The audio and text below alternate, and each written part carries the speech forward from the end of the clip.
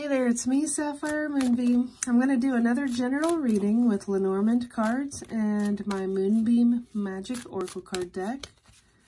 Since it is just a general reading, not all of the messages here may apply to you. Just take with you what resonates and leave behind what does not. If you'd ever like to get a private reading, please send me a message at sapphiremoonbeam.com.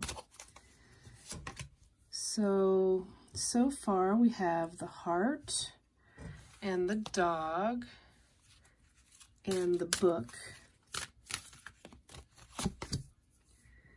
and the anchor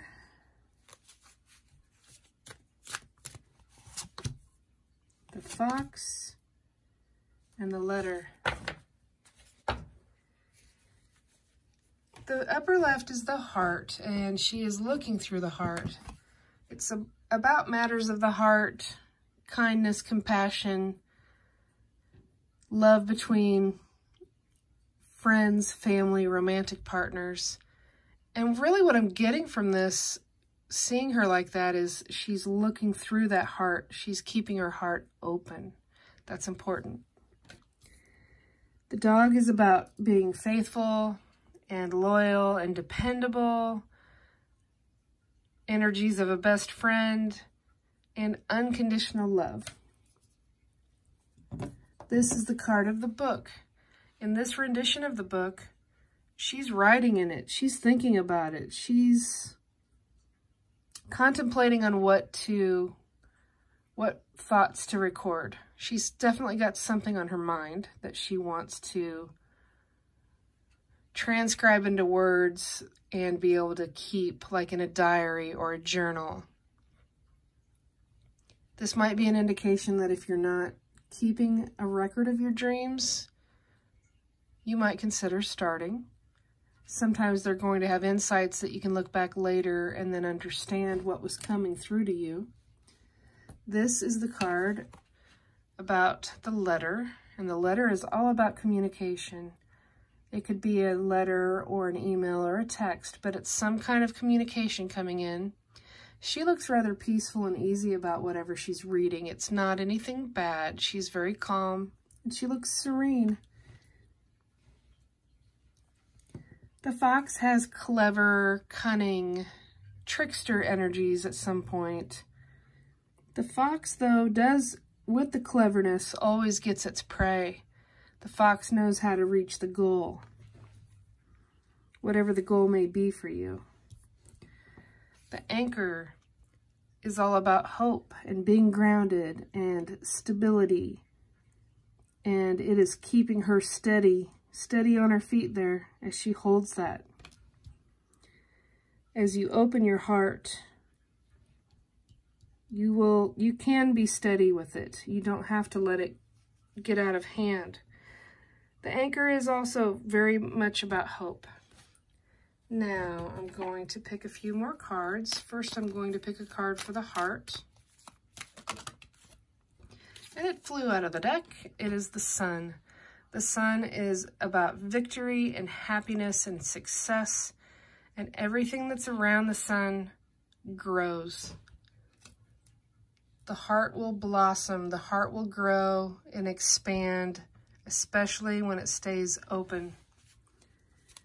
Now I'm going to pick a card for the book.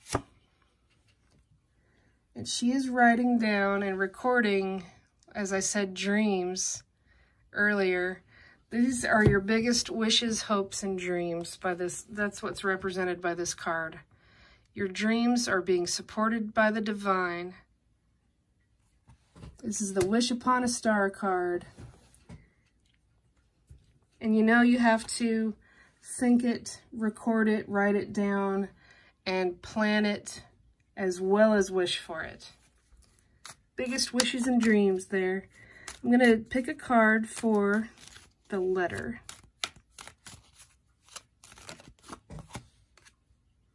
Oh my gosh, there's the letter again. I love it when that happens. I really love it. Uh, there's the letter twice.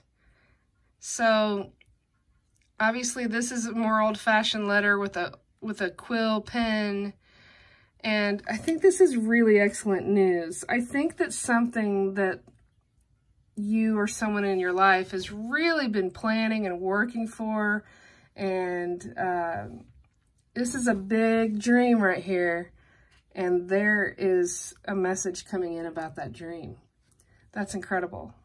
I absolutely love it when the cards come out for me more than once. That's magic right there. That is magic right there. I'm going to pull a card for the fox. Let's see what comes out for the fox. And then we have the dog again. It's the same card, the number 18. There's definitely some very loyal, trustworthy images. Whoops, there went some of my cards. um, there's, this dog is a bit more playful. This one is relaxing and resting. Um, whatever is coming in regarding the dreams and the messages, it's something that can be considered loyal, faithful, devoted. It's friendly energy here. It's good stuff. Oh my goodness. So now I'm going to pick a card for the anchor. Let's see what comes out for the anchor. The whip and the broom. It has a very similar color to the sun here, the sun card. The whip can be seen as something that's very passionate. It could be sometimes interpreted as conflict and strife, but in this reading, I'm seeing the whip as a very passionate, driving force towards the victory of the heart and the message coming in about a big dream. The broom you can keep handy just in case there's any negativity or naysayers around you to sweep that, that energy away. But yes, in this, I'm seeing this as a very passionate, it's not an argument type energy. There's something very passionate and hopeful and loyal and devoted coming in with this big dream and definitely a message coming in about the dream. So there's the card of the storks. Um, this is all about a brand new beginning. This is about a couple and they are planning a new place to stay. This is their nest. They're building a home together. And the stork is all about a new season, a new change, a new beginning. It's going to be a loyal, devoted, faithful, and honest new beginning. It looks really good. I'm going to pick, uh, well, no, I'm not going to use that deck. I was going to pull out the old Kipper deck, but what I'm going to do instead is I'm going to take a chance with this Cartomancy poker deck. This is based on a regular set of playing cards, and it has very interesting uh, messages and card depictions in it. I'm going to pick just one card from this. So this is the, the black joker. There's a red joker and a black joker in this. This has um, some little knives around the Joker. He looks kind of ornery. I'm feeling like that is going along with the trickster energies of the fox. If this is a really big dream coming in for you, there may be a few naysayers. There may be some people that try to stab you a little bit or they're not happy for you. But if, as you can see, there's three that are around the, the Joker. There's two that are trying to get into the back. I don't think the Joker's worried about it. I think that the Joker is going to get through that regardless, and it's going to be okay. I'm going to go ahead and pick one more here.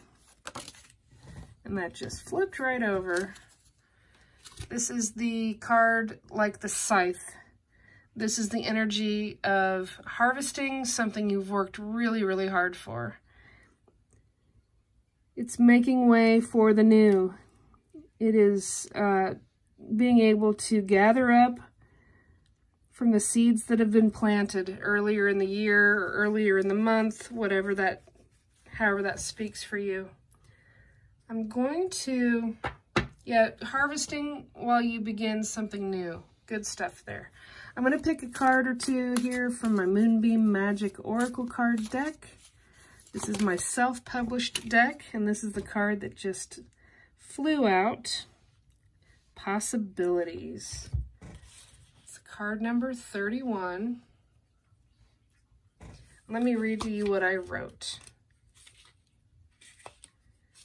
Each day offers blooms of endless possibilities. It is all in how you look at it. Life is all about perspective. This card comes to you as a reminder to open your eyes to the vast array of possibilities awaiting you on your life journey. There are so many beautiful things unfolding and blooming for you every day. You will see this when you take the time to notice. When you view the, uh, the I'm sorry, when you view the world through the eyes of love, you will realize the world is an entire garden of possibilities.